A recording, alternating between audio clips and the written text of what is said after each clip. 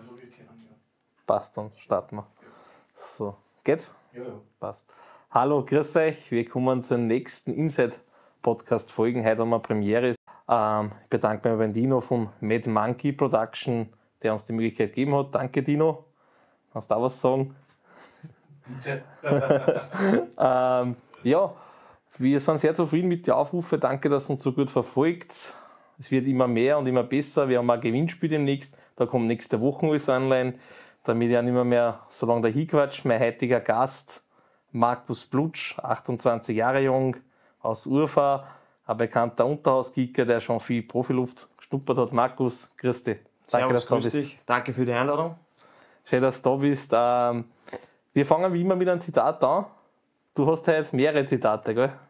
Ich habe eigentlich zwei. Also das erste ist, ähm, das mich seit meiner, ja, sage ich mal, angehenden Profizeit immer wieder verfolgt. Das war auf der Google ein nettes Bild, wo oben steht, im Leben gewinnen nicht die Schnellen, sondern die Ausdauernden. Äh, und das zweite war jetzt in der Zeit ähm, während meiner Therapie vor kurzem, wo ich einfach eh aus Langeweile einmal im Web ein bisschen mal dumm gesurft habe und dann ist mir ein nettes Video untergetaucht und das beschreibt eigentlich die Situation am besten. Also es heißt eigentlich, es gibt keine Probleme, sondern nur Lösungen. Und mit dem Ansatz kann ich mich jetzt auch relativ gut identifizieren und ja, finde ich eigentlich ein sehr gutes Motto. Cool. Also das eine bei der Google bei der ersten Zitat. Wie vermisst die alte Google? Boah, seine eigentlich gar nicht. gar nicht. Gar nicht nein. nein, es waren sehr schöne Zeiten dort da. Ich habe auch im Zuge meines Studiums dort viel Zeit Mhm. verbracht, auch mit meinem Privattrainer, wie das dann richtig Mhm. ernst geworden ist mit der Profikarriere. Äh, war wirklich sehr lässig oben. Aber ja, es war trotzdem auch im Stadion selber, wenn wir mit Blau-Weiß oder auch mit dem Lask dort gespielt haben, jetzt nicht die ideale Fußballatmosphäre, weil einfach ja, das Publikum Laufbahn, zu weit ja. weg war. Ja. Aber trotzdem waren es coole Erfahrungen, die wir dort gemacht haben. Aber ich glaube jetzt mit der Raiffeisen Arena oder mit der neuen, glaube ich, Hofmann Arena heißt ja, genau, Hofmann Stadion, hast- Genau. Ist es sicherlich viel professioneller und auch ja, Warst du, schon, Fan-treuer. warst du beide Stadien besichtigen? Nein, ich war bis jetzt nur im Lask-Stadion, Mhm. aber eh jetzt im Frühjahr möchte ich unbedingt mal das Blau-Weiß-Stadion auch anschauen, beziehungsweise kennen habe ich es eh schon, aber beim Spiel war ich noch nicht live dabei. Okay, ja. Ähm, das, andere, das andere Zitat, äh, das hat dir geholfen, nur Lösungen finden. Ja, weil es kommen einfach Situationen in deinem Leben auf dich zu, du, wo du nichts dagegen tun kannst. Und da ist einfach der Ansatz, ja, ich suche einfach nach Lösungen und beschäftige mich nicht mit dem Problem in dem Sinne, sondern einfach, ja, lösungsorientiertes Denken, glaube ich, hilft. Ja, in Hilft jedem in die Bereich. Spiele, es oder? hilft in die Spiele, es hilft im beruflichen Leben, es hilft im privaten Leben, weil einfach ja, gewisse Sachen man nicht ändern kann. Und wenn man dann in Selbstmitleid oder ja, in Trauer, man Trauer ist okay und gehört auch dazu zum Leben, aber in Selbstmitleid ähm, verfällt, dann bringt das einem nicht weiter, sondern Aber du bist kein Kind von. Traurigkeit. würde ich nicht sagen, nein. das glaube ich auch nicht, aber da hast du natürlich ein starker Charakter, was du jetzt da hinter dir gebracht hast, aber zu dem kommen wir ein wenig später. Wir fangen jetzt mal an. Äh, jetzt aktuell bei dir ist Vorbereitung zu Ende, wart in Kroatien, habt eigentlich fast alle Spiele in der Vorbereitung gewonnen, bis auf zwei, ans Unentschieden, eins verloren. Wie ist die Stimmung in der Mannschaft? Äh, seid ihr aktuell mit zwölf Punkten vorletzter? Wie geht es in Klassenerhalt an? Ja, die Vorbereitung ist eigentlich sehr, sehr gut verlaufen. Wir haben gute Neuzugänge gekriegt und auch unsere jungen Spieler, die im Sommer dazugekommen sind, haben jetzt sehr viel äh, Kampfmannschaftserfahrung gesammelt und man merkt eigentlich bei jedem Einzelnen, der bei uns jetzt ist, dass er eine tolle Entwicklung gemacht hat. Und das stimmt mir einfach sehr optimistisch, dass wir da sehr viele Punkte holen werden. Okay, zu den jungen Spielern mal. Ähm, äh, siehst du die jungen Spieler, die irgendwo selber, weil du warst da einer, der was jung viel bei den Großen dabei war, siehst du da irgendwie, ich weiß, wie es denen geht, ich weiß, wie ihnen helfen kann? Ja, auf alle Fälle. Also es war natürlich auch, wie ich mit 17 zu den Profis gekommen bin, bist natürlich ja, der kleine liebe Bur und musst ja mal ja, in die Mannschaft einspielen. Flaschen Bist- tragen, äh, Bälle. Bist natürlich äh, nervös oder nervös auch und angespannter vor gewissen Situationen. Ähm, aber ja, ich sehe mich da auch und ich helfe ihnen einfach gern, weil es alle durch die Bank echt super Burschen sind. Und mich freut es auch umso mehr, dass alle so eine positive Entwicklung genommen haben, was natürlich auch jetzt unserer, unserer Mannschaft hilft, dass wir einfach erfolgreich agieren können im Frühjahr. Okay, bleiben wir nochmal bei dem. Wo bist du damals das erste Mal als Junger mit den Profis gekommen? War das bei Lask oder bei Basching? Das Da war bei ich- Basching Bei damals. Basching, ja. Genau, das war eh, ich war glaube ich 16 Jahre, dann hat das angefangen. Ersten Profivertrag, gell? Genau, Jungprofivertrag, wo eben die Thematik war, wo gehe ich hin? Und da war Ried, Blau-Weiß, Lask und eben der FC Basching, die dann diese Kooperation mit Red Bull Salzburg gehabt haben. Das hat aber auch nicht so lang gehalten, oder? Ja, weil es einfach die, die Situation war so, entweder Liefering oder wir. Und es war ja eigentlich, nachdem wir im ersten Jahr den Meistertitel quasi nicht erreicht haben, wäre das Projekt Ah, das fertig war- gewesen, aber Aha. nur weil wir den ÖFB Cup gewonnen haben und durch das natürlich auch Europa League Qualifikation gespielt haben, ähm, ja, haben sie das Projekt quasi verlängert. Und so ist es dann halt nur ein bisschen dahingegangen, aber im Endeffekt war es dann Hat ein Ablaufdatum gehabt. Also Ablaufdatum. ein Ultimatum gegeben, man hat es noch durch andere Tier ein bisschen verlängern können, durch den Cup-Sieg, das was eine Sensation war. Genau. Du warst damals im Kader, hast du gespielt im Finale im Ernst-Happel-Stadion damals? Im Ernst Sappel war ich auf der Bank, Auf aber bis zum, also im Halbfinale gegen Red Bull Salzburg habe ich gespielt, im Viertelfinale gegen Rapid, aber im Finale leider Bankeldrucker. Aber mitgefeiert hast, oder? Aber mitgefeiert habe ich, ja. Ja. Und dann äh, äh, äh, die Europa League-Qualifikation, das war glaube ich gegen. Äh, Estoril Breyer, aus welchem Land waren die nochmal? Portugal. Portugal. Hast du da gespielt?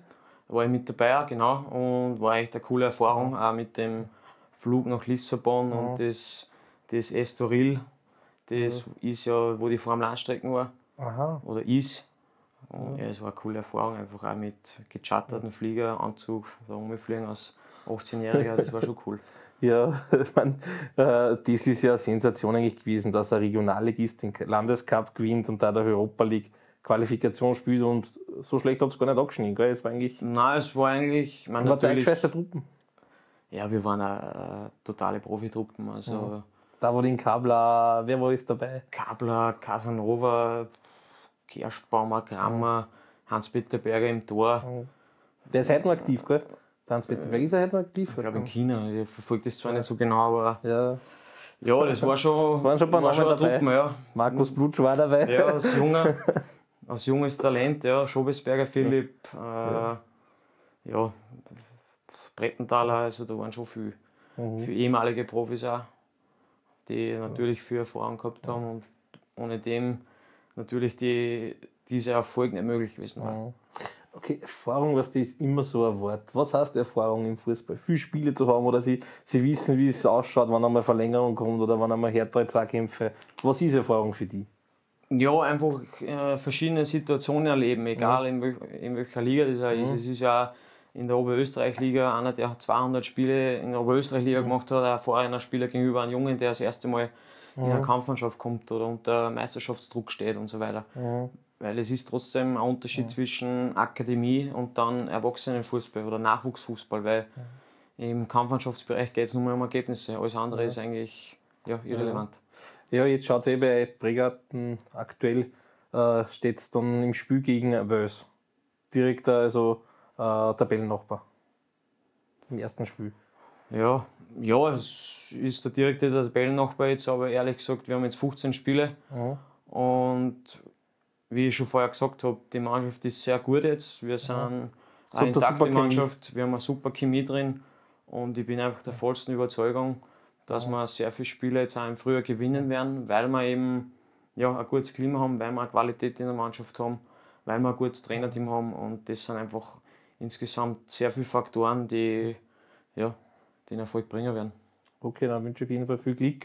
Äh, Nochmal zum Trainingslager, wie war das in Kroatien? Da hat es ein wunderschönes Wetter gehabt, da haben wir kurzzeitig telefoniert. Ja, es war genial. Es ist einfach ein Trainingslager was anderes, wie wenn es daheim in Österreich bei Schnee, Regen und am Kunstrasen trainierst, was auch super ist, weil wir super Bedingungen im Bregarten haben in Kunstrasen, aber trotzdem, du bist als Mannschaft gemeinsam, du sitzt am Abend beieinander. Keine du Ablenkungen. Du hast Karten spielen oder wir sind dann halt auch oft in einen Park gefahren, haben Champions League geschaut, Dienstag und Mittwoch. Ja, das ist einfach lässig und gemeinsam essen, dreimal am Tag und dann stehst am Platz, Montag bis Mittwoch haben wir das beste Wetter gehabt mit 15, 16 Grad, wo du mit einem kurzen Leibwall trainieren kannst. Also die Bedingungen waren einfach top und du lernst dich einfach aus, aus Mannschaft nur näher kennen. Du weißt einfach, wie einzelne auch so privat ticken, auch wenn man sie so gut kennt, trotzdem schon, aber das intensiviert die Beziehung zwischen den einzelnen Spielern, aber auch zwischen Trainer und Spieler und vom Vorstand waren auch welche mit. Also das war echt ein sehr gelungenes Trainingslager. Ja, ich sage also Trainingslager immer super, habe das in meiner Nachwuchsmannschaft gehabt. Leider erst vor Schluss der Saison, wo ich fast aufgehört habe, aber das bewirkt Wunder. Ja, es bewirkt einfach was. Es tut sich was. Es, man entwickelt einen gewissen Spirit, man arbeitet auch gemeinsame Sachen aus. Sowas haben wir auch gemacht am Abend im Hotel mit Flipchart und so weiter. Also, ja, Und wo war dein bestes Trainingslager? Du warst da schon oft in deiner Karriere. ja, die coolste Erfahrung, das war aber kein Trainingslager, sondern eigentlich ein Turnier. Das war die U20-Weltmeisterschaft in Neuseeland. Ja. ÖFB Ja. ÖFB-National im U20. Ja. Das war halt trotzdem eine unglaubliche Erfahrung, Mhm. wo wir im, in die Rugby-Stadien dann auch die Turniere gespielt haben, Mhm. Wo wir im letzten Gruppenspiel Argentinien rausgehauen haben. Aber da gibt es trotzdem, es hat jeder, jede Reise so ein bisschen Mhm. einen besonderen Wert gehabt. Ähm, wobei ich jetzt trotzdem sagen muss, dass ja, das in Rovin jetzt nur mehr drauf gehabt war, weil ich einfach mich so wohl im Prägarten fühle oder auch generell jetzt so, wie, wie alles wieder läuft in meinem Leben, äh, einfach ja, ideal ist gerade. Und ja, dann hat es auch die U19 EM in Ungarn gegeben, wo wir im Auftaktspiel vor ausverkauftem Haus gegen Ungarn 3-0 gewonnen haben, wo ich dann das 2-0 gemacht habe und eh die ganzen 10.000 gegen die sind, das, ist halt dann, das sind schon coole Erfahrungen. Und im selben Hotel waren die Deutschen mit uns, mit Superstars, wie die jetzt Champions League spielen und so weiter. Also, Wer war das dabei? Boah, bei der U20 WM war, glaube ich, der, bei der U19 EM war der Brandt, dann der, der Kimmich und so weiter. Also, das waren schon coole Erfahrungen. War geil. Hast gute Kontakte geschnürt damals. Bekanntheit. Ja, man sieht sie halt am, Ja. am, am Gang und Ja. beim Essen bist du halt ab und zu gemeinsam gewesen, aber ja, die sind trotzdem auch in einem Ja. Tunnel drin, sage ich jetzt einmal, du halt ja nicht so viel, Na, nicht so viel okay. Kontakt hast. Ja, dann bleiben wir gleich ein bisschen bei der Nationalmannschaft. Du hast äh, damals als ambitionierter Akademiespieler bei Basching damals, gell? Oder war das die Akademie äh, von Linz? Da bin ich mir jetzt nicht sicher. Es war äh, fließend. Ja, genau, das war immer wieder, weil ich habe im System nachgeschaut, da bin ich mir deswegen nicht so sicher. Dann bist du irgendwann einmal berufen worden, da warst du eigentlich ja fast jede U durch, von der U16 bis zur U21. Genau, ja. Und die Highlights, wie erwähnt, der WM in Rumänien und äh, ins U20-Turnier, war das WM oder? Die U19 EM in Ungarn, genau, das Ja. war das Highlight, wo wir ins Halbfinale gekommen sind. Wo wir im Halbfinale dann halt ja, gegen Deutschland. Mhm. Ja. Konrad Leimer war damals dabei und der Ja. Xaver Schlager, oder?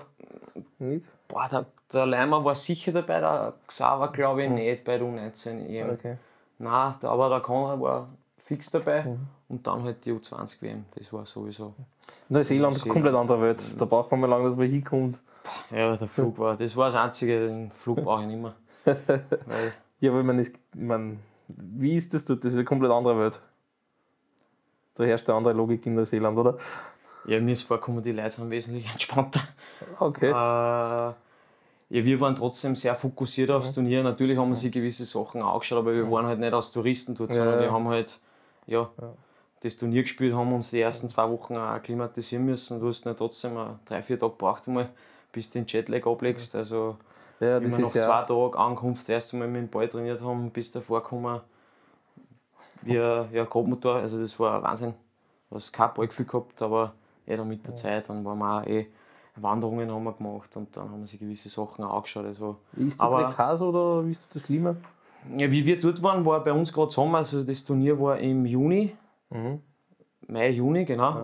Und da war halt dort gerade Winter. Also man Was hat heißt dort auch trotzdem 10 bis 20 Grad gehabt. Also, okay. Aber Weil jeden ja in Tag. Australien ist es ja richtig heiß dort. Äh, Aber in Neuseeland war es halt jeden Tag hat es einmal geschüttet, das war unglaublich. Also das war, ja, kann man sich gar nicht vorstellen. Also wie, wie bei uns die Unwetter. Hat es da jeden Tag einmal geschüttet, das war echt. Ja, das heißt, die Highlights waren die immer in Rumänien und äh, die sind in Neuseeland. Ungarn, genau, Ungarn und Ah, Ungarn. Neuseeland. Un- Ungarn. Die Eigentlich habe ich geglaubt Ungarn. in Rumänien. Das heißt, da habt ihr das Halbfinale erreicht. Genau. Wer war da nur dabei? War da der Pellegrini auch dabei? Der war in der Nationalmannschaft? Nein, das war dir? 96er Jahrgang. Also 96er, da war Grilic war dabei, Aha. Der Linhard Philipp, dann im Tor der Casalitino, Michael Beder, Michael.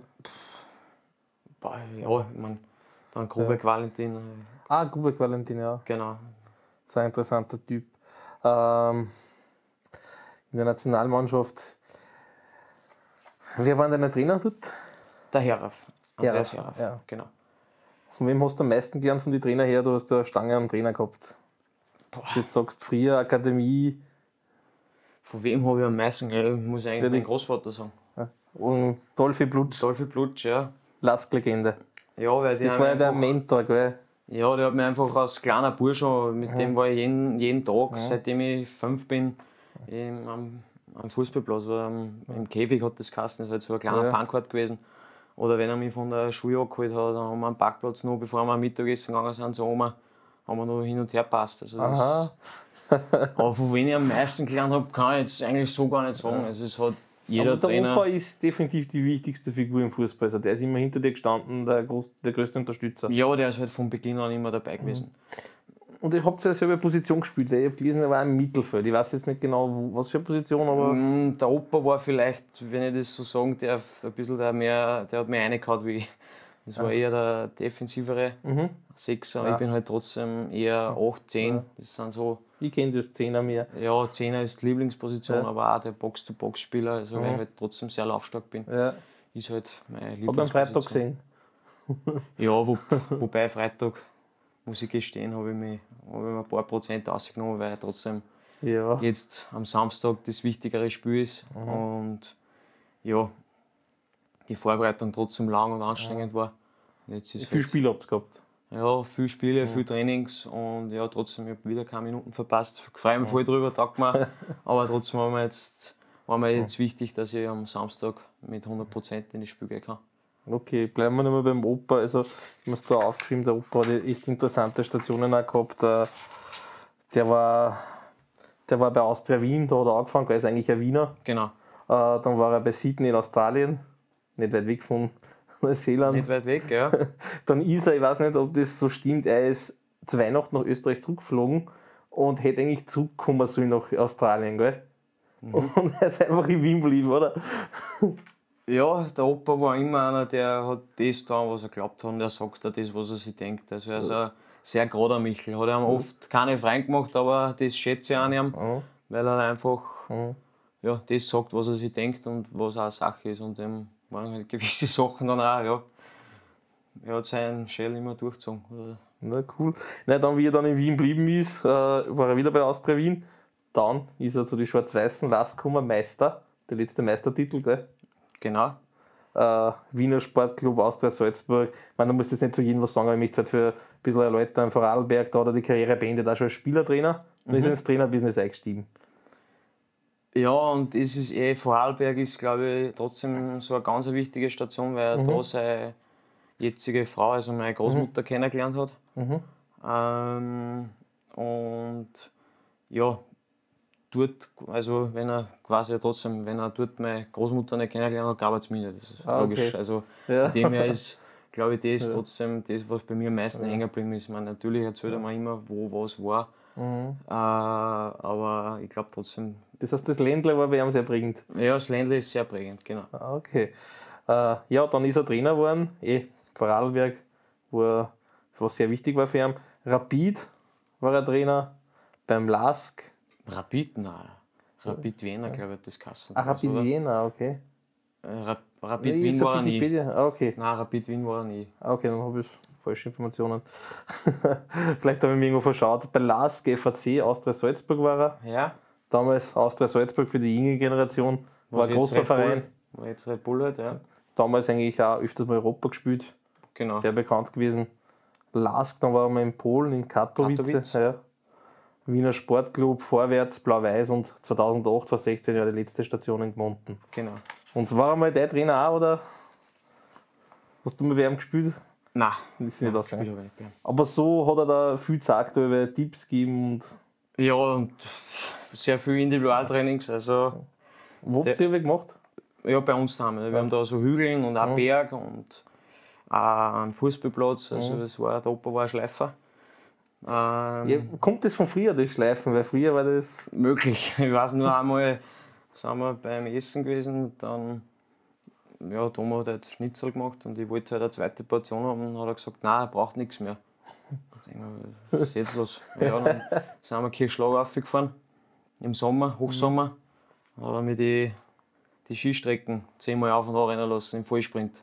Und der ist halt oben gestanden, wie der Winnetou sagt, Mama oder der Thomas auch immer und hat runtergeschaut und hat gesagt, geh mal, komm, komm.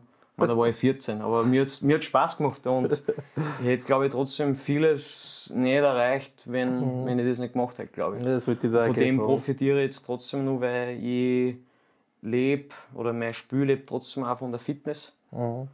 Äh, macht mir aber auch trotzdem auch sehr viel Spaß. Ich gehe halt auch gerne laufen, Radfahren. Also das sind auch so ein bisschen meine Hobbys. Ja, und der Harald Konrad hat mir gesagt, dass ich öfters laufen. Aber der Opa, der hat dich sehr geprägt. Also du warst nicht da, wo du bist, wenn der Opa nicht war. Nein, es war ja natürlich auch so, äh, ich bin bei meinen Großeltern im Haus aufgewachsen. Und ja, der Opa war immer die erste Ansprechperson. Natürlich mit meinem Vater auch, aber Opa war halt auch immer sehr, sehr präsent. Okay. Ähm, na, dann kommen wir mal zu dem Teil, äh, weil du sagst, du bist du wie fit, da wie du jetzt krank geworden bist vor einem Jahr, also knapp genau einem Jahr, da hast du ja auch trotzdem trainiert. Ja, Da hast du relativ, ich meine, das ist bei dir damals so so gegangen, ich glaube, auf einen Tag hast du die, die, die Diagnose gekriegt, nächsten Tag bist du operiert worden. genau. Wie, wie hast du das eigentlich gemerkt, gespürt, dass da was nicht passt? Weil das ist ja auch ein bisschen ein Klick, dass du so bald draufgekommen bist in dem Stadion. Ja, bald bin ich nicht drauf gekommen. Ich habe leider schon äh, Metastasen gehabt Aha, in die Lymphknoten. Also ich war schon fortgeschritten. Aha. Aber ich habe eigentlich, ja, man, blöd gesagt, ein bisschen Leistenprobleme gehabt. Aber als Kicker, wenn du mit Leisten zwickt, denkst du jetzt nichts, muss ich ehrlich Ja. sagen. Es war dann auch weg. Und dann habe ich normal trainiert am 27. Jänner vorheim, habe gegessen, mich niedergelegt und auf einmal ja, waren das richtige Schmerzkoliken. Also das habe nicht einmal mehr irgendwie aufrecht sitzen können, sondern habe mich zusammengerollt wie ein Embryo, weil ich es einfach nicht mehr ausgehalten habe. Mhm. Dann habe ich meine Mutter angerufen, die Gott sei Dank nicht weit weg wohnt von mir. Äh, wohnst du allein, oder? genau, ich war Ah, okay. ein, eine kleine Wohnung in Mhm. Urfa, Okay. 500 Meter weg vom Elternhaus, also ideal. Ja. Ja, und habe halt gesagt, bitte für mich ins Spital, ich halte es nicht mehr aus. Und das heißt wirklich was, weil ich traue mir schon sagen, dass ich meine Schmerzgrenze sehr, sehr hoch Ja. ist, aber das habe ich nicht mehr ausgehalten. Ja, und dann eine Stunde später war eh schon die Diagnose da. Da war die Diagnose gleich da. Äh, ja, war es dann gleich mal Schock für dich hast du gleich gesagt, es gibt, wie du in dem Zitat gesagt hast, nur eine Lösung? Ja, Schock war natürlich einmal ein gewaltiger da. Äh, trotzdem auch, wenn die Mama daneben ist, die natürlich meistens leiden die Angehörigen mehr wie du selber. Äh, war natürlich sehr, sehr zart, aber ich habe dann am nächsten Tag gleich mit meinen besten Freunden und mit der Family äh, mich ausgetauscht und habe dann eigentlich auch nicht recht viel Zeit gehabt zum Nachdenken und auch die Ärzte haben gleich in den ersten Gesprächen gesagt, das wird wieder Mhm. und war dann eigentlich relativ, ja, entspannt würde ich jetzt nicht sagen, aber ich war jetzt nicht. Du bist trotzdem positiv geblieben. Du Ja. bist trotzdem optimistisch, sag ich jetzt einmal. Ja, weil mir einfach auch gleich die Nachrichten, die ich gekriegt habe von meinen besten Freunden, Ja. von der Family, einfach gut da haben. Mhm. Und ja, ich habe dann eigentlich auch gleich versucht, dass ich schaue, wie, was kann ich jetzt machen und ja, Wer waren die besten Freunde? Also wer sind die? ja also ich bin ja gesegnet mit sehr vielen guten Freunden. Ich will jetzt da eigentlich gar keine Namen Ja. nennen, weil wenn ich Okay. mich vergisst, das kann auch sprechen. Okay, ja, ist okay, ist okay. Aber wir ich noch muss- vielleicht? Nein, ich habe da wirklich eine, wir haben eine größere Gruppen, Mhm. wo wirklich, ja, wo man sagen kann, es ist ein super Team. Und dann auch aus meiner Schulzeit Ja. nur zwei, drei und aus Wien ein glücklich, sehr dass das Freund. Und der aktuelle Zeugwart beim Lask ist einer meiner besten Freunde. Oh, ja, cool. also da ist auch, das sagt auch der Opa immer, also er ist wirklich beeindruckt von dem, Mhm. was für ehrliche Freundschaften ich da habe. Und auch langhaltend aus der Schulzeit. Ich habe auch Freunde aus der Schulzeit, das ist schon was Besonderes. das ist wirklich was Besonderes und ich weiß einfach, auch wenn man sich vielleicht jetzt aufgrund eh, jeder ist beruflich tätig, ein paar haben schon Kinder, Familie, äh, Freizeit, Hobbys, ähm, dass nicht so viel Zeit bleibt, so wie es früher halt war, aber wenn man sich dann sieht, weiß man einfach, oder wenn Probleme sind, Probleme, sind da. sind wir jetzt wieder bei dem Wort, aber wenn einfach Themen sind, wo man. Unterstützung braucht, wo man Unterstützung braucht, sind sie einfach immer für die da. Und ja, da bin ich wirklich gesegnet. Ja, nach der OP wird es dann dauert, hast du aber Genesungszeit gehabt. Ich meine, wenn du nicht darüber reden willst, weiß ich nicht. Nein, Du, so wie ich es mitgekriegt habe, da, du hast jetzt nicht so ein Problem damit. Äh, Dann hast du, äh, wie schnell ist dann die Chemo gekommen, wie hat das dann alles ausgeschaut? Die OP hat einmal funktioniert. die OP ist super verlaufen. Ich bin dann eigentlich gleich am nächsten Tag, wo sie eigentlich gesagt haben, ich habe einen Vogel aufgestanden und ein bisschen spazieren gegangen. Äh, Das sollte man nicht, oder wie? ja, sie haben gesagt, wenn es geht, ja, aber ich muss halt aufpassen. Das wird die. Okay. Ist eh klar. Ja. Ähm, Das heißt, liegen kann daher Blut nicht, nein, oder? das geht sich nicht aus. Das geht nicht aus. geht sich nicht aus. nein. Äh, ich habe dann eh immer jeden Tag Besuch gekriegt, eh von meinen Freunden, von der Family. Ähm, bin dann eigentlich schon am dritten Tag auch immer spazieren gegangen. Zwar noch nicht so weit, aber mir ist es wirklich sehr, sehr gut gegangen. Aber nie allein, oder? Weil allein ist schon ein bisschen riskant, nein, ich war nie allein. Nein. Ja. Ich war nie allein. Also, da eh, muss ich sagen. Egal ob es jetzt dann meine Mutter war, äh, mein Vater, der Opa, meine besten Freunde, der Otto Jung, äh, die waren immer da. Und dann eigentlich nach fünf Tagen bin ich mal heimgekommen. Habe ich aber dann schon gewusst, dass ich in fünf Tagen später im eine muss wieder wegen der ersten Chemo. Und wie hast du das vertragen, die Chemo? Ja, eigentlich relativ gut. Mhm. Bis auf, also es war immer so, das waren jetzt solche Zyklen. Wie ist das gegangen? Das heißt, die erste Chemo, wie lange dauert das und die nächste? Also es waren drei Zyklen. So Was ist der Zyklus? Das, so ein Zyklus hat 21 Tage gedauert. Aha. Wo Tag 1 bis 5 war ich im Spital. Kriegst halt Vollpfeffer. Mhm. Also da hast du alles rein, was halt nur geht. Aber dass du fit bist, das, weil du warst ja immer fit, das hat sicher auch geholfen beim Genesungsprozess. Ja, absolut. Also äh, es war ja dann wirklich, ich habe dann nach dem ersten Zyklus, ich war dann auch während dem ersten Zyklus schon jeden Tag spazieren und dann, wie die fünf Tage vorbei waren, dann waren schon immer noch die fünf starken Tage, zwei, drei Tage, da war ich gefühlt kaputt. Mhm. Ich habe das immer so beschrieben, das fühlt sich dann so an, als warst jetzt drei Tage einen Vollrausch gehabt und 40 Grad Fieber dazu. Also da bist Da geht nicht mehr viel. da bist erledigt. Da habe ich 500 Meter, bin ich 500 Meter gegangen, war hin. Und dann bin ich aber eh schon nach die, aber das war dann wie, blöd gesagt, wie wenn du mit dem Finger schnippst, nach drei Tagen habe ich dann gemerkt, hey, eigentlich geht es wieder recht gut. Und dann habe ich eigentlich eh noch am, am dritten Tag, habe ich dann wieder mal das Laufen probiert, weil ich habe ja trotzdem Hast du das dürfen oder? So bald nicht. Laut Arzt nicht, aber ich habe trotzdem auch mir andere Meinungen geholt, nicht nur von Ärzten, sondern auch von Physios und von, von einem, einem sehr guten Freund unserer Familie, auch so Art Mentor neben meinem Großvater. Ähm, der junge Otto, der mich eigentlich seit dem 12. Lebensjahr immer begleitet hat, auch in meiner sportlichen Wer ist Karriere. der junge Otto? Ist er ein Manager oder? Nein, das, wie soll ich das am besten beschreiben? Den hat mein Opa schon in seiner Zeit bei Steyr als Fitnesstrainer und Aha, okay. ja, äh, Trainingsunterstützer quasi gehabt und der hat auch mich da hingebracht, wo ich hingekommen bin und auch in die Zeiten, wie ich das mit der Stoffwechselerkrankung gehabt habe und dann auch äh, jetzt während Der Ja. Chemo, ja, okay. Chemo war einfach er mein Unterstützer und auch mir einfach in allen Bereichen geholfen. Ähm, der hat dann schon gesagt, na probier's mal. Und ja, ich bin dann trotzdem, ich bin nur für meine Verhältnisse sechs Kilometer gerannt. Aber Ich mit meine, einem, du sagst 500 Meter bis ein Kilometer, aber 6 Kilometer ist auch nicht wenig. Ist das für, aber für Menschen, die gesagt, Chemo nein, aber es, trotzdem, du merkst trotzdem, was diese Chemo so gut, dass äh, Gott sei Dank, dass es gibt, aber was die mit deinem Körper anrichtet. Also ich bin, äh, das, ich mache immer zwei Nachten einen Halbmarathon Mhm. in der Früh gleich. Also das ist so ein bisschen ein Ritual von mir. Und da bin ich am 24. Dezember, weiß ich noch, in einem in nicht lockeren Bereich, aber in einem Grundlagenbereich einen Halbmarathon einfach in eineinhalb Stunden gerannt. Also das ist halt schon. deutlich äh, unter 5 Minuten Schnitt. Und dann halt die 6 Kilometer mit 7 Minuten am Kilometer und dann war ich aber nachher finito. Aber ich habe dann trotzdem gemerkt, mit, Tag, mit jedem Tag ist es wieder besser geworden. Und ich war dann eigentlich gegen Ende von dem Zyklus, also Hast du schon wieder fit gefühlt? Hast du schon- schon einen Gradaschewitsch angerufen? Hey. gesagt, Trainer, geht schon wieder. Ja. Ja.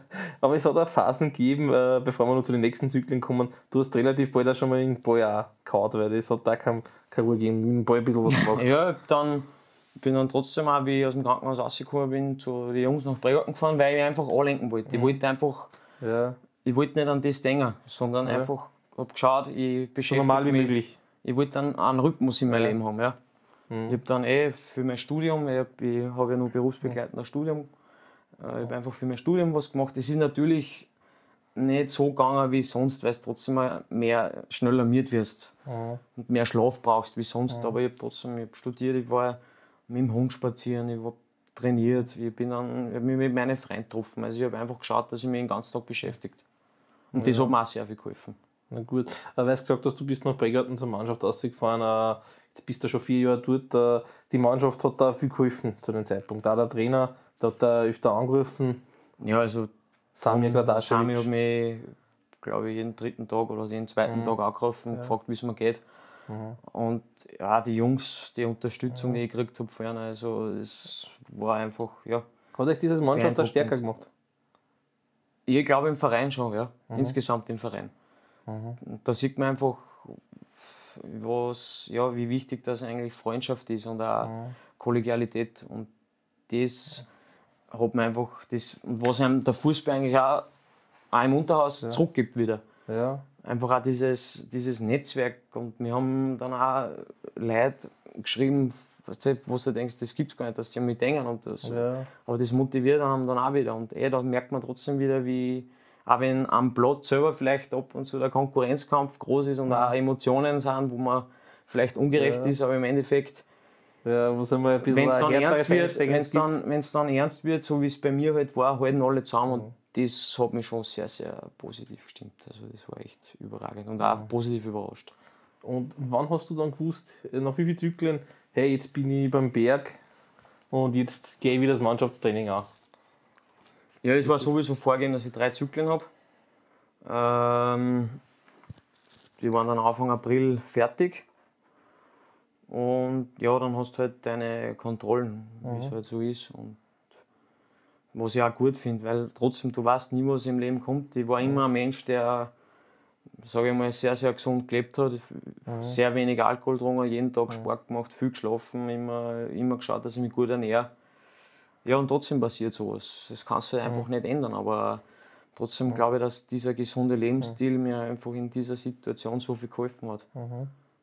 Weil du bist eigentlich in Rekordzeit zurückgekommen. Wie war der Trainingseinstieg dann? Du bist ja einer, so wie sie, ich habe mit dem Gadaschwitsch auch ein bisschen Kontakt gehabt, hat man gesagt, eigentlich willst du immer mehr, aber er hat ein bisschen Ja, dosieren müssen. bremsen müssen, ja. Was eh im Endeffekt dann auch sehr, sehr gut war. Äh, Ich habe aber dann trotzdem eine Woche nach der letzten Chemo einfach einmal angefangen, dass ich mittrainiere. Das, was halt geht. Und habe aber eh, wie ich schon vorher gesagt habe, mit jedem Tag ist das so viel besser geworden. Und eben Aber wenn weil der ich auch- Zyklus wieder neu war, dann ist wieder. ja, natürlich Ja. fällst du wieder runter, aber einfach auch, weil ich schon, weil ich schon während der Chemotherapie dann auch mit, mit Otto und auch mit, mit der Mannschaft schon ein bisschen was gemacht habe. Ich bin jeden Tag zwei bis drei Stunden in der Kraftkammer gestanden. Und habe auch Lauftraining gemacht, Radltraining, ähm, Stabilisationstraining. Also ich habe, glaube ich, wirklich bis auf die zwei, drei Tage nach dem starken Teil jeden Tag trainiert. Okay, ähm, ja, dann kommen wir eigentlich jetzt zu dem ersten Spiel, wo du wieder spielen hast dürfen. Ja. Das war im Mai, glaube ich. Habe ich es richtig? Nein, das war Mitte April. Mitte April schon, okay. Äh, Cup, jetzt weiß ich nicht, Viertelfinale oder was war das? Cup Viertelfinale. Viertelfinale, genau. Kassen hat 10 Minuten, gell? Also, war, also, ich weiß nicht, was der Samir gesagt hat, aber da muss ich auch lachen. Genau, er hat gesagt, ja, ich fahre mit und ich, ich Ja. habe gesagt, ja, Trainer, 10 Minuten, mehr geht sich nicht aus. Hast du zu ihm gesagt? Ja, Ah, okay. habe sogar ich gesagt. Also, Okay, das ist interessant. er hat gesagt, ja, passt. Ähm, dann haben wir eh trotzdem, wir haben einen sehr kleinen Kader gehabt zu dem Zeitpunkt, Mhm. auch trotzdem viele Ausfälle. Und dann hat sich beim Aufwärmen der Schröger Sebastian auch ein bisschen weh da und hat gesagt, er kann glaube ich nicht spielen. Ist der Same gekommen Mhm. vor dem Spiel und sagt, Markus, schon vor Anfang an, sag ich, nein, geht sich nicht austrainieren. Das dass das ich sowas sage, das heißt viel, weil ich spiele mit mir einen gebrochenen Fuß, wenn es geht. Nein. Ja, aber dann Aber es hat, dann eh passt, es hat dann eh passt. die Vernunft ein bisschen gesiegt, Ja, der oder? Sebo hat dann gespielt. Aber es war dann trotzdem, und ich habe dann aufgewärmt ab der Halbzeit und in der 60. Minute ruft er mich. Ich denke mir, boah, Trainer. Ja, wurscht, trotzdem spielst und ey, ich stehe am Feld und ja, fühlst dich halt Komisch, bis, bis bei 50 Prozent. Aber ja, ich bin dann reingekommen und dann haben wir es 2-1 gekriegt. Dann habe ich schon gedacht, ja, jetzt ist es vorbei.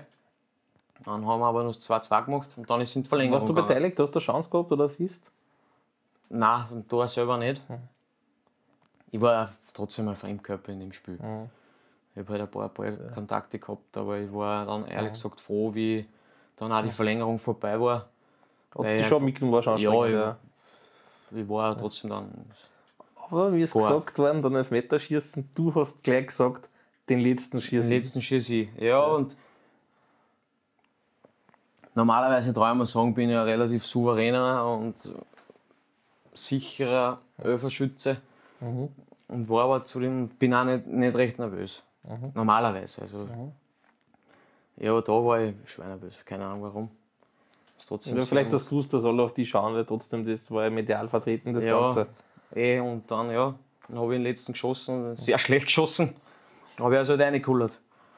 Wohin? Links, rechts?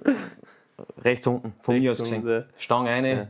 Ich glaube, ich oben am boah. Ball auch noch drauf drin. Und, äh, nein, Hat schon lange gedauert, bis das auf den Elfmeterpunkt zur ja, kommt. ha? gefühlt ewig, aber dann, wie er reingefallen ist, ja, war es War eine schöne Situation. Ha? ein unglaublicher Moment. Alle herkommen und Das war das Highlight deiner Karriere, oder? ja, definitiv. Nach dem ersten Definitiv. Spiel, was du gesagt hast, hast du wie gesagt, das wichtigste Spiel hast du gewonnen, aber neben dem kommt gleich das nächste, oder? Der Elfmeter, der war symbolisch, oder? Ja, war einfach dann auch, einfach so, solche Geschichten schreibt dann auch wieder nur der Fußball. Dass ich dann auch noch den entscheidenden Elfer reinhaue. Ja, vor allem, weil wenn wenn es nicht bis zum fünften Elfmeter kommt, was der Sami zu mir gesagt hat, Genau, der, wenn der nicht kommt, schießt du den nicht. Und der Schießt sagt, den. das war Schicksal, Das war dass Schicksal, das so passiert, sagt dass er. der vierte Elferschütze von einer Ja. verschießt und ich als letzter Spieler von uns Entscheidest das, ja. Gelegenheit habe, den entscheidenden reinzuhauen. Ja, die nächsten Spiele dann, wie viel hast du dann gespielt? Also so, auch wieder so sukzessive Ja, Aufbauthemen, sukzessive. ja. Also ich habe dann die letzten zwei Spiele als Joker, dann einmal 20 Minuten, Mhm. dann einmal 30 und dann ist eigentlich schon ab Anfang Mai Mhm. losgegangen und ich habe 90 Minuten gespielt. Und da habe ich aber auch schon gemerkt, hey, es wird besser. Wieder da, ja. Ich habe dann gegen Ende, Ende Mai dann auch schon wieder getroffen, gegen Wollern und gegen St. Martin im Ja, letzten war Spiel. lang war Aufsteiger. Genau, ja. Ja. Und habe dann schon meine 90 Minuten wieder gespielt. Schön. Ich kann mich erinnern, ist wirklich schon relativ gut gegangen, ja. ich habe das medial auch verfolgt. Ich kann mich noch erinnern, irgendwann einmal in der Hinrunde war es relativ bald in Öd, da kann ich mich erinnern, hey, der Blut ist schon in der Auf- Startaufstellung. Das hat mich ein bisschen gewundert, weißt du, dass, dass du wieder so fit bist, dass das eigentlich relativ schnell gegangen. Gott sei Dank. Ja, es ist wahnsinnig schnell gegangen. Ja. Also ich traue mir wirklich sagen, dass ich mit Anfang Mai schon wieder wirklich sehr, sehr fit war. Ja, und hat es irgendeinen Moment gegeben, wo du sagst, hey, da jetzt ist irgendwas anderes wie früher? Oder bist du jetzt wieder komplett derselbe Blutschi, wie man die gerne Nein, nennt? ich bin absolut, definitiv nicht dasselbe. Was schon ist, ich bin entspannter geworden. Ich war eine Art Perfektionist. Aha. Ich war oft, bin mir vielleicht ab und zu sogar selber im Weg gestanden. Als junger Spieler, weil ich sehr verkrampft war. Verkrampft, aber ich war halt wirklich, ich bin jetzt nach wie vor sehr, sehr ehrgeizig und das zeichnet mich aus. Äh, Aber ich habe in gewissen Situationen gelernt einfach, du musst, das ist nicht so wichtig, immer das alles nach Perfektion. Plan. Perfektion ist nicht so wichtig, Das ist oder? nicht so wichtig. Dass immer alles zu 100% passt. Genau. Okay. Aber, aber ich traue mir jetzt sagen, körperlich, wie ich jetzt wieder beieinander bin, besser, nur besser. Weil ich habe jetzt im ja, November, Dezember, Jänner nur mehr sehr, sehr viel Zeit investiert in meine körperliche Fitness. Äh, was ich natürlich immer tue, aber jetzt halt nur mehr, weil ich nur mehr wissen will, für mich selber. Hm. Ähm, bin aber einfach mental stärker geworden.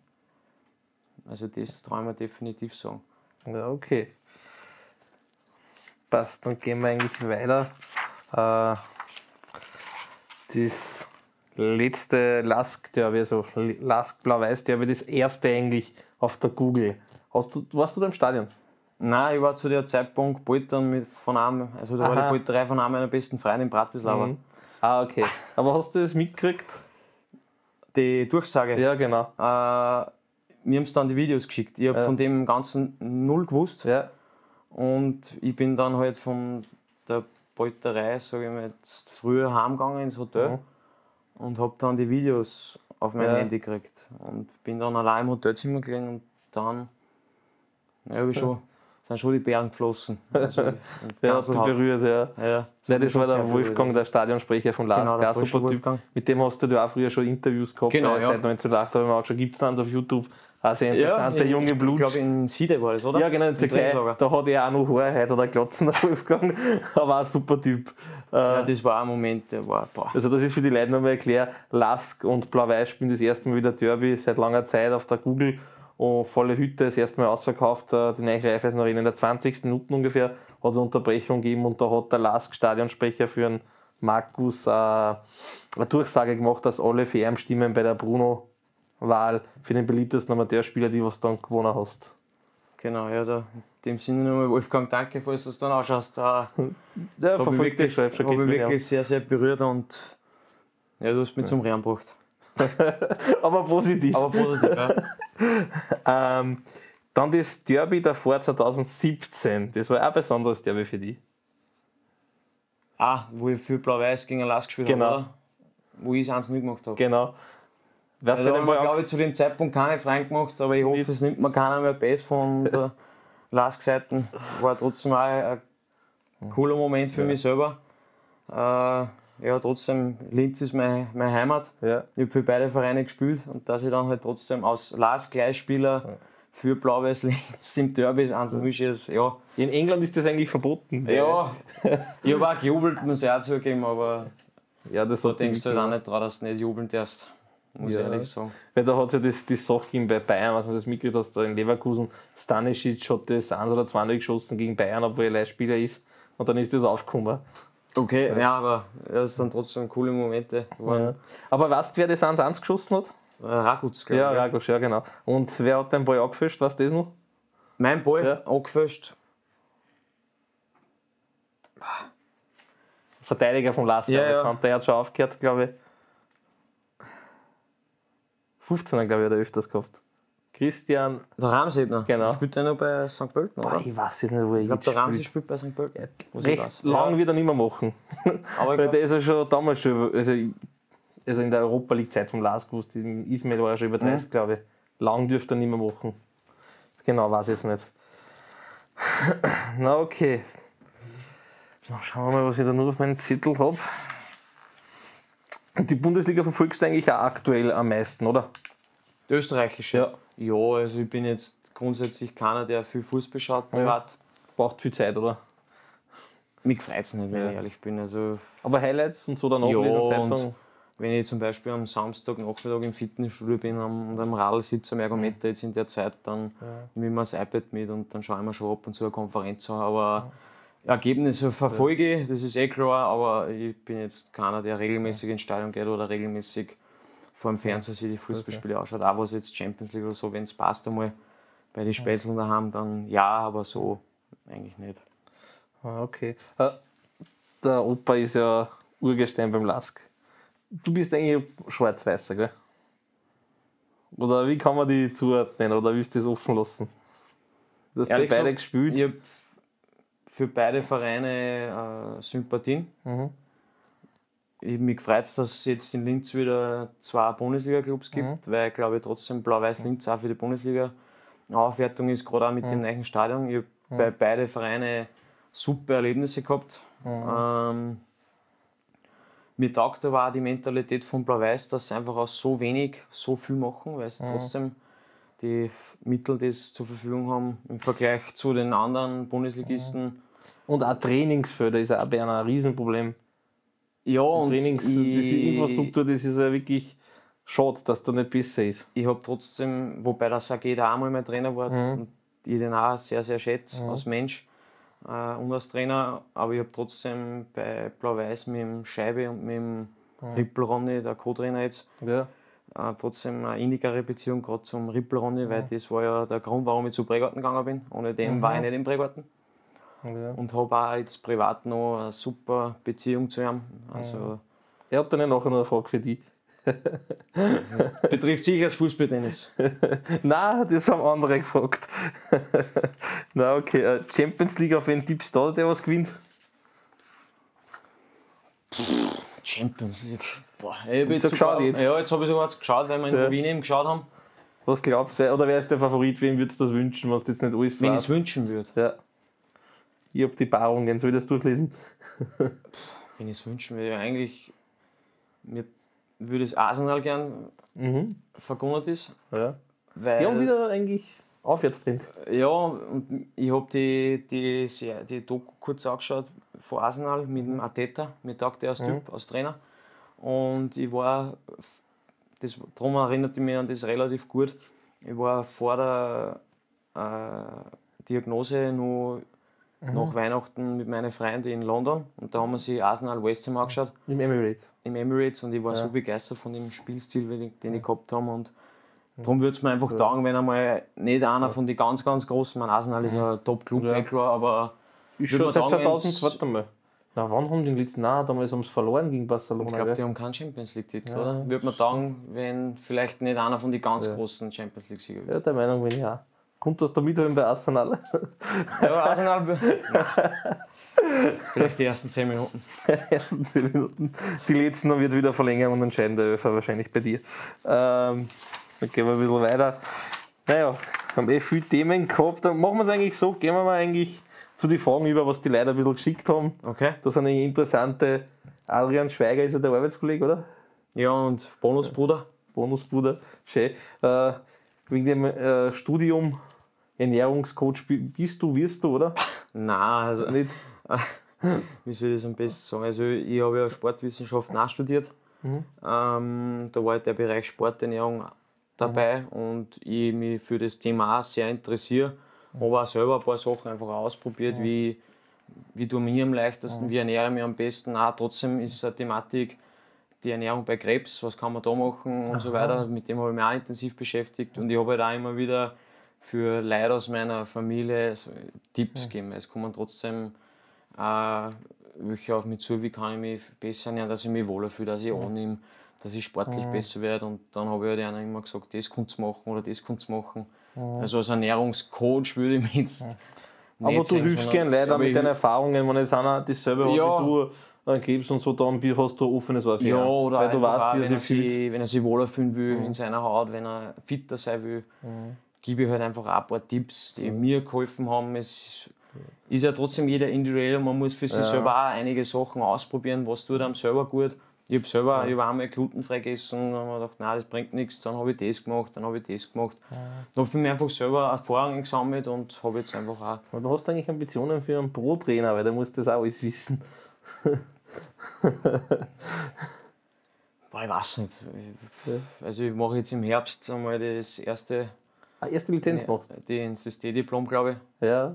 Weil jetzt im Sommer bin ich dann mit dem Masterstudium, das ich jetzt noch gemacht habe, ja wie schaut es aus mit deinen Studien? Das heißt, eins hast du abgeschlossen, äh, das Ich habe erste? Sportwissenschaften gemacht, dann Wirtschaftswissenschaften, das waren zwei Bachelor. Okay, und nebenbei tust du arbeiten und Fußball spielen. Und habe jetzt noch einen Master ja. in Gesundheitsmanagement gemacht, wo ich jetzt im Sommer fertig werde. Meine blöde Frage von mir nebenbei, dass du arbeiten, eigentlich arbeiten tust, studieren und Fußball spielen. Ja, genau. Wie bringst du das alles unter den Dach? Man, 40, du hast du 40 Stunden arbeiten. 40 Stunden Arbeit seit August.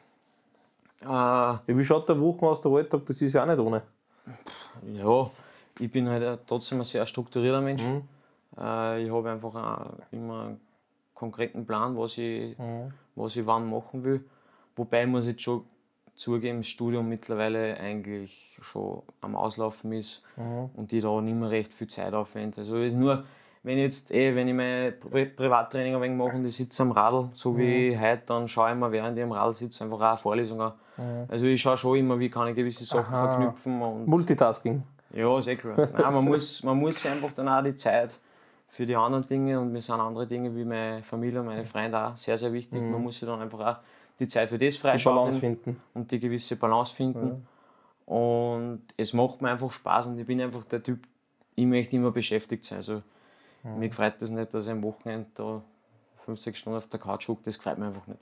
Ja. Am Abend zum Schlafen gehe, sehr wohl und ab und zu mal ein gemütlicher Abend ist auch okay, aber ja, ich bin ein bisschen ein Duracell-Hasel, also ich brauche da schon Kann er nicht ruhig sein. sehr viel Beschäftigung. Okay, dann kommen wir zum nächsten. Äh, Wissen, Schlager, also Xaver Schlager und Konrad Leimer, dass du in Wahrheit besser bist wie die zwei. Hast du noch Kontakt zu ihr, oder? Ich habe ihn Xaver hab ich einmal getroffen im Sommer.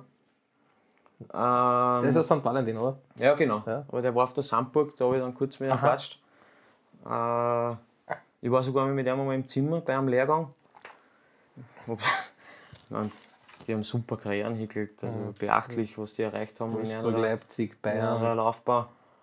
Muss aber auch sagen, total bodenständige, coole Typen. Ja, und was können uns reißen bei der EM in Deutschland? Ja, ist jetzt natürlich schon bitter, dass mit dem Kalajdzic und mit dem Alaba Ja, zwei wichtige Spieler, Redelsführer. Redelsführer, ja, ausfallen oder ausfallen werden. Ähm, aber die Mannschaft ist sehr gut und ich glaube schon, dass Also, sie die ein letzten, Einzug in die K.O.-Phase durchaus möglich ist. glaube auch, also die letzten drei Europameisterschaften, also 2016, die war top. Äh, zwei, nein, 2016 war jetzt nicht so stark, aber man war dabei, man hat sich nicht so schlecht verkauft. Mit ein bisschen Klick kommst du weiter. Äh, 2020 gegen Italien, wenn der Anatovic da nicht mit seinem Fußzeichen nur abseits ist. Es ist halt Und- natürlich, und da sieht man aber, wie, wie schmal der Grad Ja. zwischen. Dabei ist oder nicht, auch der Genau. Zeigt, ist Es kann in zwei Richtungen so schnell gehen. ja, Millimeter. Und gerade im Sport ist das nur extremer, finde ich. Ja, absolut. Ja, man die Gruppen äh, Holland ist jetzt nicht mehr, so das starke wie früher. Ich glaube, Holland ist zum Schlagen. Frankreich hat man es auch nicht schlecht verkauft in der Nations League. Ja, Ja, Rangnick, Ich sage an einem normalen Tag Ja. ist gegen Frankreich nicht viel drin. Aber im Fußball oder im Sport ist alles möglich und man muss einfach auf seine Stärken vertrauen und einfach alles, alles geben in dem Spiel. Dann kann man auch gegen Frankreich durchaus ein positives Ich Ergebnis. man muss dran glauben, weil wenn man nicht dran glaubt, kann es nicht passieren. Genau, Äh, zu wen holst du nach Österreich? Portugal. Portugal. Okay. Ah ja, du bist der große Ronaldo-Fan, gell? Das darf nicht vergessen werden. da freut sich der Dino, unser Kameramann. Ja, wobei ich trotzdem auch sagen muss, mir taugt der Messi auch. Mhm. Und man muss, ich denke jetzt, ich denke trotzdem immer wieder, man muss einfach dankbar sein, dass man zwei so Spieler gleichzeitig erleben kann. Ich meine, Ja, das stimmt. Sowas hat es noch nie gegeben. Ja. Dass die, vor allem sicher Pelé, Maradona, keine Ahnung, wie die alle kassen. Ja. Und das Ja. waren Ausnahmesportler, aber über so einen langen Zeitraum solche konstanten Leistungen bringen, gerade in Zeiten auch, wo alles analysiert wird mit Videos und so weiter. Das, für mich ist das, Ja, und für mich ist sie werden ein bisschen weitermachen. Also zwar nicht mehr, auf Für dem mich ist das Niveau. außerirdisch, was die, was die zwei aufgeführt haben. Also sowas wird es nie wieder geben, glaube ich. Ja. Glaube ich. Wobei ich sage, mit Haaland und Mbappé gerade auch Ja. zwei so Typen sind, aber Die, was das irgendwie. das was das vielleicht, aber ich, ich kann mir es nicht vorstellen, dass so eine Dominanz von zwei Spielern wieder geben wird. So eine arge Dominanz. ja, stimmt. Und ich habe mir auch Karten gekauft für die EM. Aha. Portugal, Tschechien, Portugal, Tschechien. Wo spielen in Leipzig. die? In Leipzig, also beim Schlager daheim. Ja, genau. Schlaf's bei ihm. Nein, ich habe so keinen Ja, Kontakt mehr zu ihm. Ja, ich weiß Weil ich glaube, Telefonnummer habe ich sogar noch, aber Ruf mal auf, jetzt war Verliert man- verliert Fahren wir die um mich. Fahren wir um mich. ähm, Bessian Sinani. Ähm, an was ist eigentlich äh, dann schlussendlich bei dir gescheitert, dass du Profi geworden bist? Du warst ja schon an der Schwelle, du hast ja damals auch eine Krankheit gehabt, Stoffwechselerkrankung, gell? Naja, Profi war ich ja. Also ich war So acht Jahre lang Profi, ich acht Jahre einen Profivertrag gehabt. Also kann man schon sagen, dass ich in Ja. der Profikarriere schon das Ziel erreicht habe. Aber es war ja dann die Situation so, ich war absoluter Stammspieler bei der Admira und eben auch im U21 Nationalteam habe schon ja, sehr viele Interessenten gehabt aus anderen Ligen oder aus, aus Heute kannst Österreich. du sehr sagen, wer, oder? Wer war Köln, interessiert? 1860 München, Rapid, Austria, also da waren schon einige Interessenten auch da. Ähm, dann auch in Norwegen, ich meine, das war ein bisschen schräg, aber Ja. erste Liga Norwegen und so weiter. Im Winter viel lustig zum Spielen. die Temperaturen. Ja, und man ist dann leider auf eine ja, Immunstoffwechselerkrankung draufgekommen, dass ich im Prinzip durch, das durch die Unterdrückung eines pfeiferischen Drüsenfiebers entstanden ist und Das heißt, hast das du nicht überdacht oder was heißt das genau? überdacht habe ich es, ja. ah, okay. Und ja, es, ich meine, ich habe mich eh schon eine Zeit lang nicht recht gut gefühlt und dann bin ich nach der Meisterschaft heim und dann schaut mich meine Mutter an und sagt, "Ey, wie, wie viel hast denn du angenommen? Keine Ahnung, ich wiege mich nicht, das weiß ich nicht. Dann habe ich da sehr, sehr viel an Gewicht verloren, Muskelschwung gehabt durch diese Stoffwechselgeschichte, weil einfach das ganze Blutbild angefallen ist. Und da warst du bei der Admira, oder? Genau, da war ich zu dem Zeitpunkt bei der Admira. Und hast du da Pause gemacht oder gespielt? Weil da war ich mir nicht ganz sicher, die Ja, Pause Daten der gemacht. Pause, okay. Und an dem ist dann. Ja, und natürlich, wenn du dann ein halbes, dreiviertel Jahr nicht spielst, bist du nicht mehr interessant. Ja. Und dann, ja, wie es halt im Profisport auch so ist, das geht dann halt schnell. Ja, du hast ja aber auch trotzdem beim Aufstieg mit, äh, miterlebt beim LASK, oder? In der Regionalliga. Genau, ja. Da warst du dabei, das war. Genau, da war ich als 18 Welcher war von den Momenten die besten? Du warst beim Cup-Finale von Basching dabei, Aufstieg, Derby hast du da geschossen. Was ist das Highlight, abgesehen von dem im Prägarten der Öfer?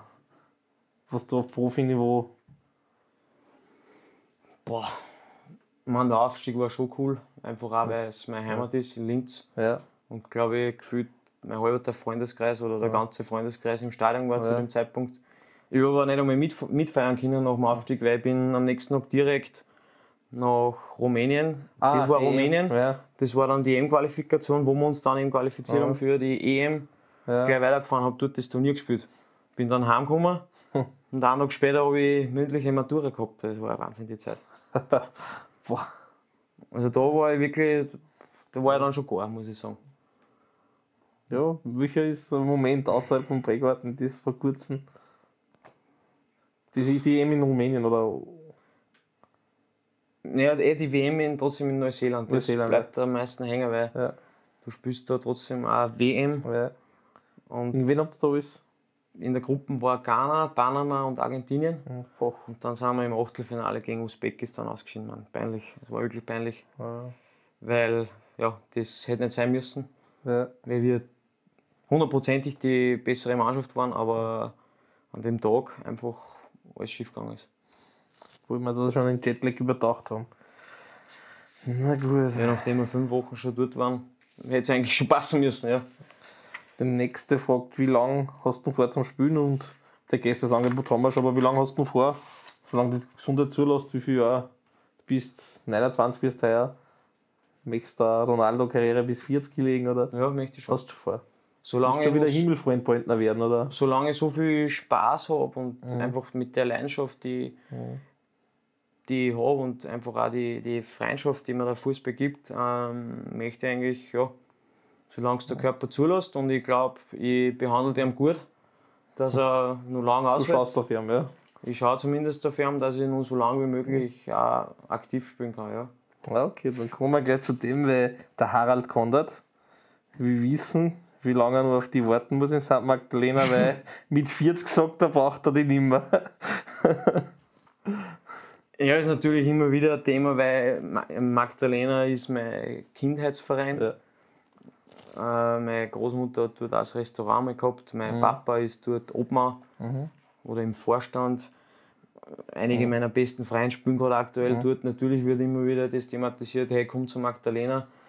Aber ich muss auch sagen, ich habe im Prägarten auch wirklich wahre Freunde fürs Leben gefunden, auch beste Freunde, ich fühle mich dort total aufgehoben. Ähm, wann der Zeitpunkt ist, dass ich zu Magdalena gehe, kann ich im Moment nicht sagen. Okay.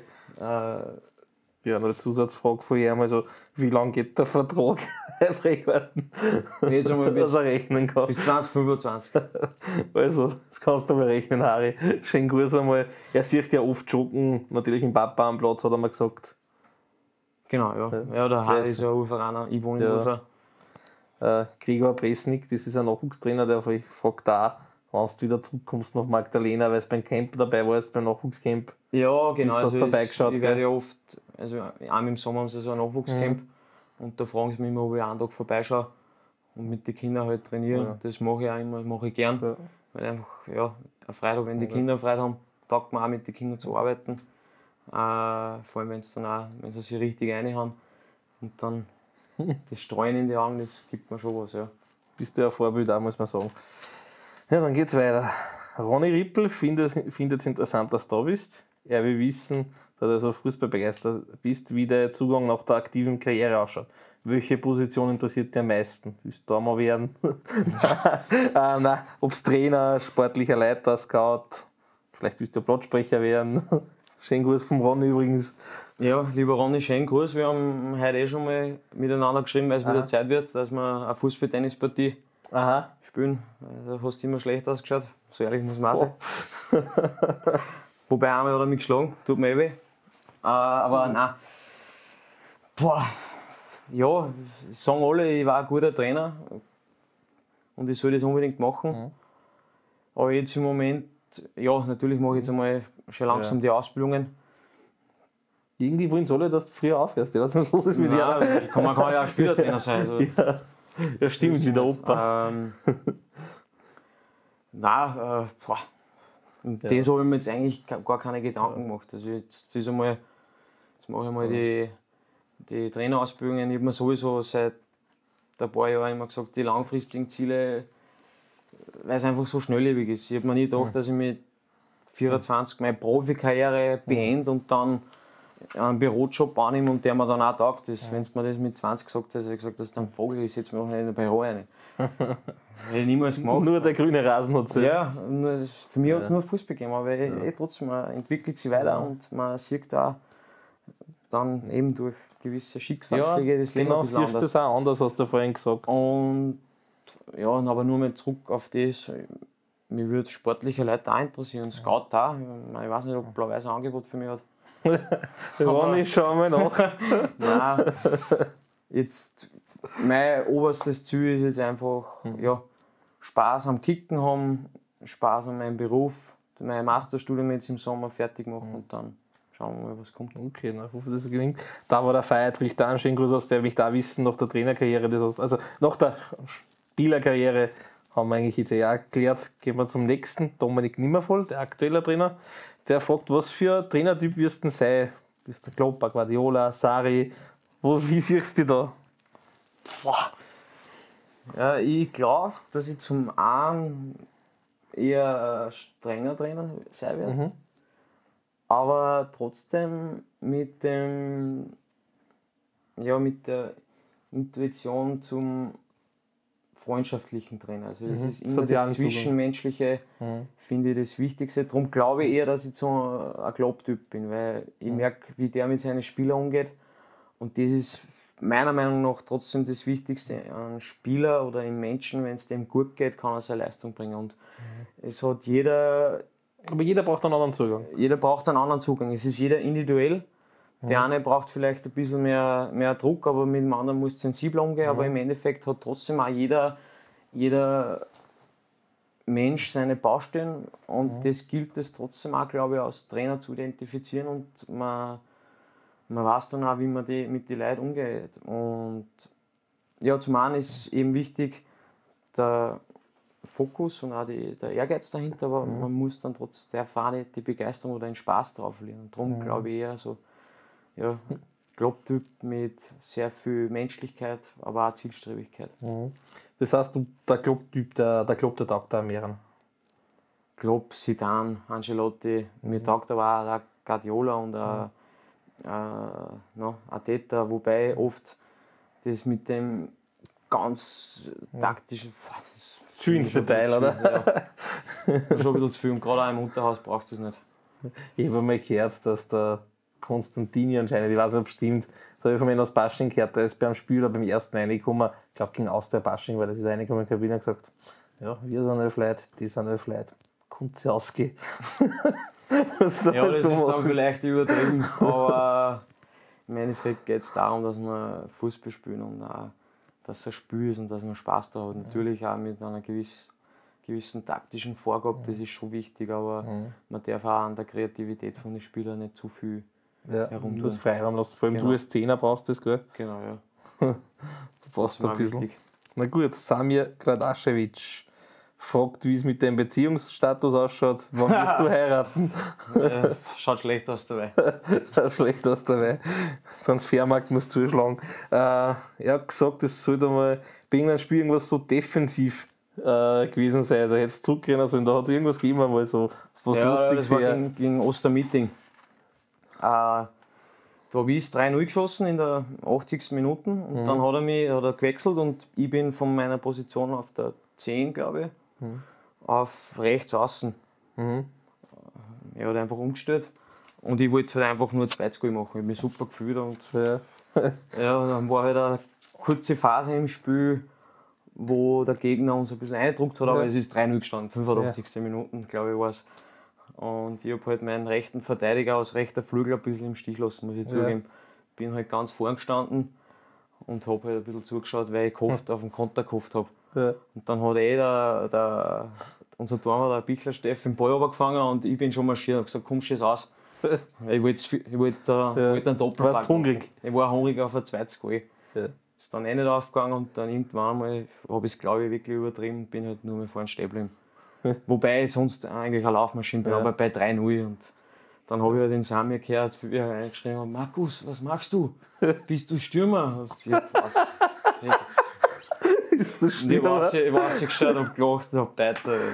Nachher haben wir dann eher gar nicht gehabt, aber da war er ein bisschen angefressen, glaube ich. Nein, er hat gelacht, wie mit dem Keter jetzt. Ja, das war ganz witzig. Nein, aber er sagt, du bist ein Vor- äh, Vorbild, charakterlich top, ein Führungsspieler. Der letzte hat er gesagt, war Schicksal. Ja, das war Schicksal.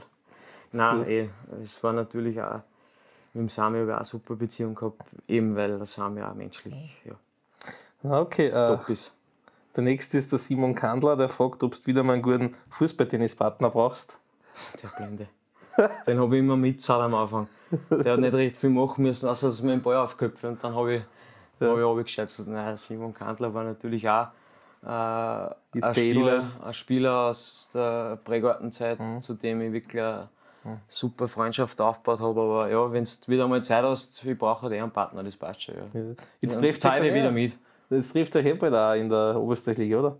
Ja, und wir treffen uns auch so ab und Ach zu. so, Also okay. der Kontakt ist nach wie vor ruhig eh mit ihm oder mit dem Stangelpippo, der jetzt auch bei spielt, Ja. essen. Die sind einfach auch, wie ich schon vorher gesagt habe, im Prägarten auch wahre Freunde fürs Leben gefunden und die zwei gehören da definitiv auch dazu. Mhm, schön. Na, passt dann. Du hast zwei schöne Grüße ausgekriegt von Edin Hodzic und Joel Dombaxi. Ah, okay. Ja. Danke, ja, das ist witzig. Ah, Freut mich. Edin und Edwin hast du zusammengespielt, gell? Der Edwin Ja, leider verstorben, gell? Ja, das, eben, drum. Ja, äh, ja da war ja Aus- total aus dem geschockt, Himmel, das war- Himmel. Weil es war wirklich immer im Nachwuchs, haben wir auch Sachen erlebt. Ich weiß ich noch, da waren wir in Eidenberg auf so einer Hitten mit unseren Eltern, waren wir neunjährige Buben Mhm. Ja. und gemeinsam gekocht. Und, und da waren die zwei immer dabei. Der Edin war der Lächler, Ja. der Kassen immer, wer immer gelacht hat. Und der, der Edwin war einfach der, der, der ruhigere und, Und ein bisschen ernster war er. ernstere. Aber Ja, ich kenne aus meiner Schulzeit. super Typen, die zwei. Ja. Und ja, dann ja, verstirbt der Edwin, also dieses schon, aber Auf tragische Weise. Also der einen- war auf einem ganz guten Weg. ja, und sowas nimmt dann schon mit und ja, dann ja, weiß ich gar nicht, was ich dazu sagen soll. Aber trotzdem freut mich, dass es in Edin so gut geht. Ja. Hat er einen Burm, ich glaube, Oder ein sogar Burm zwei, jetzt, ja. genau, oder zwei weiß ich jetzt Ja. leider auch nicht. Aber auch freut mich, dass die auch haben. Und der Joel, auch, äh, Links. Linksfuß, Zahnstocher. Aber ein Fighter und dass der zum Profi geworden ist, freut mich wirklich voll. Ich kenne aus meiner Vorwärtszeit. Ja, und der war ja, bei Blau-Weiß bei der 1B und dann hat er ein paar Mal bei uns mittrainiert und war immer so ein ruhiger, lieber Typ und Sehr sympathisch, ja. sehr sympathisch. Voll cool, dass der, Ja. Dass der Profi geworden ist. ja. Nein, auf den Quai im Jahr, St. Pölten ist aktuell. Voll cool, also ja. Und da merkt man einfach trotzdem, was durch ja, Fleiß auch möglich ist. Ja, Okay. Der nächste ist Goalkeeper Amar Helac äh, aus Blau-Weiß-Zeiten. Jetzt ist er aktuell im Ländle in Lustenau, Vorarlberg. Äh, wer, waren, wer war der beste Zweikontaktspieler bei Blau-Weiß damals? Ja, er war es nicht. Schönen Gruß übrigens auch ins Ländle, mein Freund, weil mein Zimmerkollege immer bei Blau-Weiß. Mhm. Ähm, wer war der, boah, der beste Zweikontaktspieler? Ja, Eigentlich ich, als Techniker. Ja, ja, Okay. kann man schon sagen. Hat er die, die Frage am richtigen gestellt. Ähm, dann habe ich wieder irgendwas rausgefunden. Also 2010 ist ein bisschen lang her, U16 damals. Äh, hast du im, hast du im Bashing-Dress gegen SKM gespielt.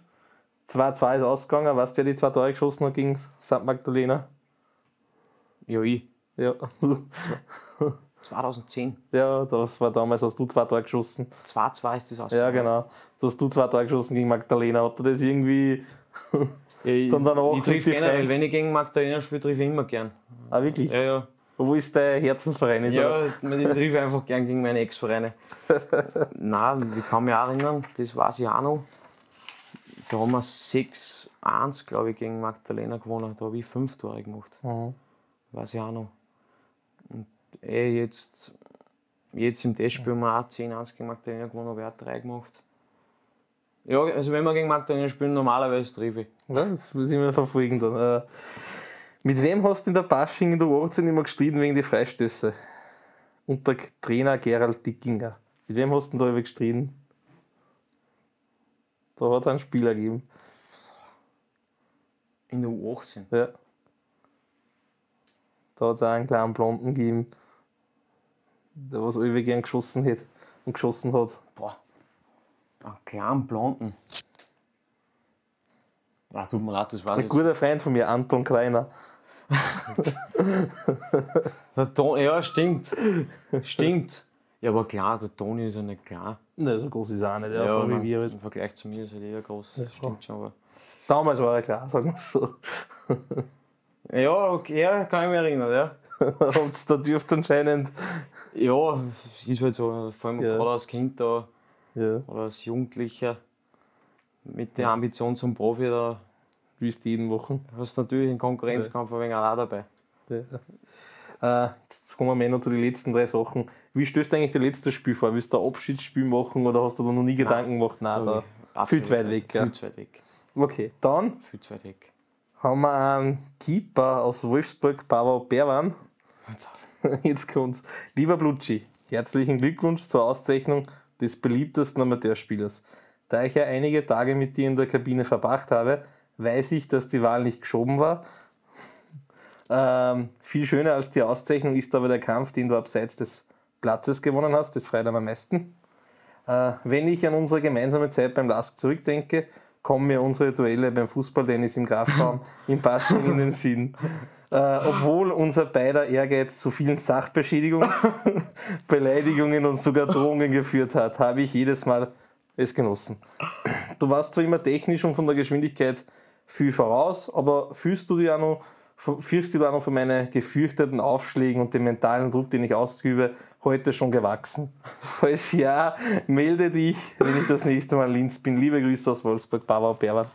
Aber danke, Fabo. Äh, falls du das anschaust, freut mich wirklich, dass du sowas überlegt hast, weil wenn ich jetzt wieder zurückdenke, das war wirklich unglaubliche Zeiten und du warst für mich, muss ich auch so sagen, ein wahres Vorbild, weil Er war Ja. Kapitän ich belassen. war Kapitän beim Lassen. Und ich sage immer, wenn ich von dir erzähle, dass du ein kleiner Psycho warst, aber im positiven Sinne, weil so einen strukturierten und professionellen Spieler ich persönlich eigentlich wirklich nicht erlebt habe und ich habe viel kennengelernt. Der aber dann auch wieder so sehr sein mit dem Vogel ab und zu rausgehauen hat, bitte nimm's mir nicht besser. Dann in der Kabine menschlich, ja, ein Wahnsinn. Also so einen lieben Kerl. Und dem verkund ist, also wenn ich es wirklich verkund an ihm. Schön. Und das war wirklich, ja, in der Grafkammer, die Spiegel waren und ja, da, da ist schon zugegangen. Ja. Wenn zwei so Ehrgeizler aufeinandertreffen. Und der hat ja wirklich, wenn wir dann Fußballtennis gespielt haben und er war hinten, der hat die Depper gemacht. Der hat mit Hat. Psychoterror. Ja. Psychoterror.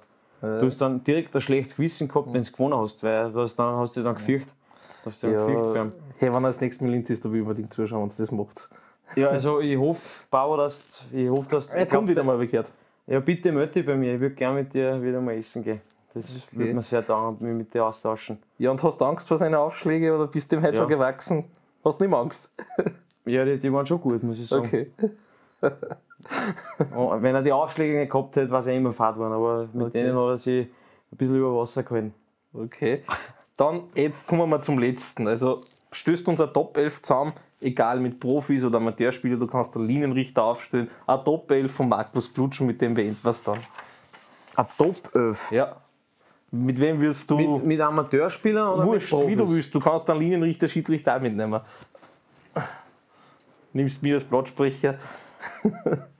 Ja, top. Ich mache eine aus meine ehemaligen und aktuellen Mitspieler. Mhm. Im Tor ist der Schütze nicht der Klaus.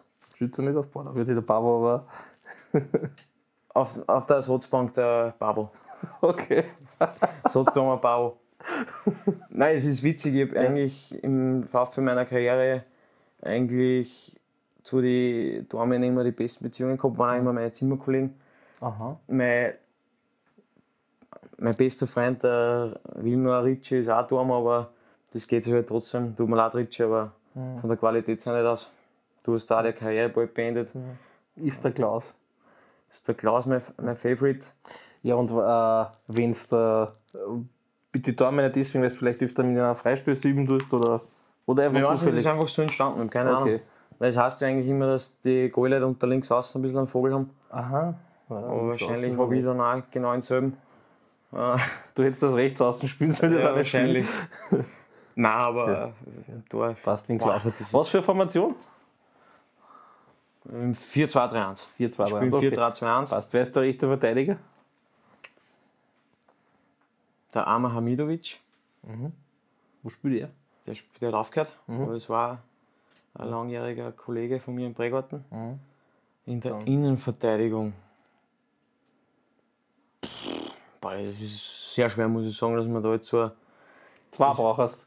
Ja, ja, schon klar. äh,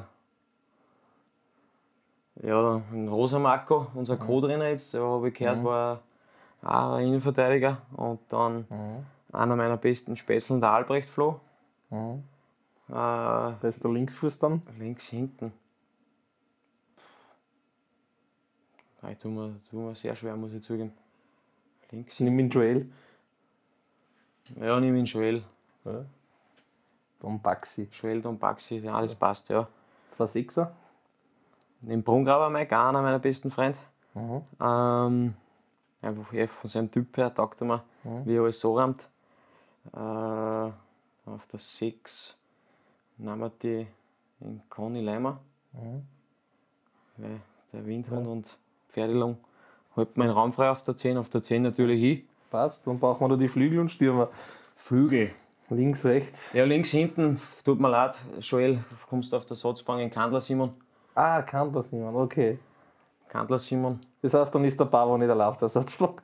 Ja, ich brauche, ja, schon eine gute Bank ist auch wichtig. Du Ja. brauchst ja mindestens Ja, 17, 18 dass die gute, Qualität nicht gute fällt. Spieler. Genau. Ja.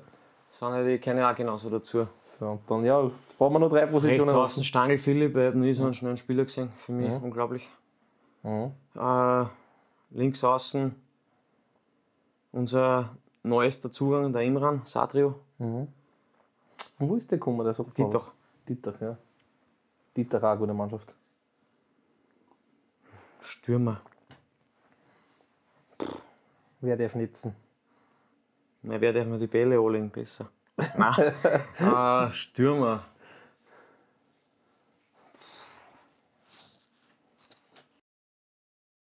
Was nochmal? Wir sind eigentlich fertig. Wie, wie lange haben wir? Wir haben Stunde 20. Boah, hätte ich nicht geglaubt. So lange wollte ich das nicht machen, aber. Wir sollen plaudern sein. Ja. Stürmer, mir fällt kein Stürmer ein. Nein, Stürmer, ein grober Valentin. Ah, Kubek Valentin Weißkirchen, ja. Der mir einfach in der Akademie, glaube ich, wo ich Torschützenkönig geworden bin in der Bundesliga von, von der AK. Wenn man, glaube ich, von den 18, die ich gemacht habe, hat man eher 15 aufgelegt. Und einfach auch, zu dem ich zwar jetzt leider siege ich nicht so oft, aber das ist für mich auch so einer, wenn man sieht, ein wahrer Freund und mit dem habe ich auch so viel im Nationalteam auch gemeinsam erlebt. Und darum nahmen wir den Grobek Valentin. Der ist ja momentan beim Lask. Genau, ist Ja. äh, Äh, in Scouting, glaube ich. sportlichen Ja, Funktion, ja. ja Sport, glaub, er war bei der Auslosung dabei, also er ist beim Lask auch aktiv. Also äh, zu, zugleich zu Weißkirchen, wie er das alles unter dem Dings Ja, macht, weiß ich ja. nicht. Aber der hat auch gute Schritte gemacht. Ja, absolut. Und eh, da sieht man auch, der hat dann vielleicht auch nicht die ganz große Karriere, aber es gibt andere Wege, wie man ja, sein Leben genießen kann und erfolgreich sein kann. Passt, okay. Das war der Markus Blutsch im Inside Podcast. Ich sage vielmals Danke, Markus. Danke für die Einladung nochmal, sehr gerne. War wirklich interessant mit dir zu plaudern. Dann vielleicht, vielleicht machen wir nur mal eins. Muss mal Zeit vergehen. Schauen wir uns mal die Reaktionen an. Ich wir, ob zufrieden sind mit mir. Glaube ich schon. Ich sage danke für alle Zuhörer. Bis bald.